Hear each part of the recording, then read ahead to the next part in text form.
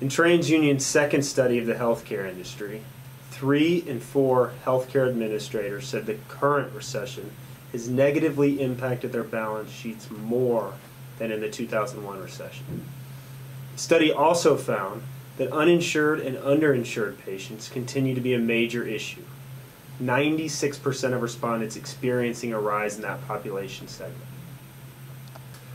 41% of healthcare administrators stated that increasing uninsured and underinsured population was the most important issues facing their organization.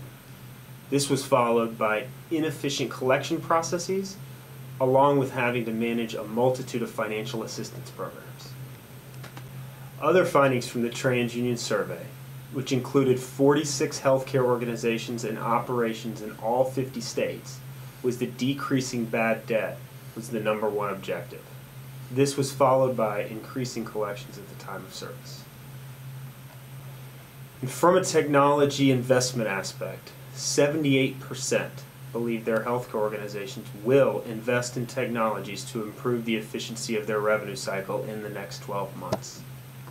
The response from this survey clearly indicate that now, more than ever, with the passage of the healthcare reform, hospitals and physician offices need to leverage various data sources and new technologies to manage their balance sheets.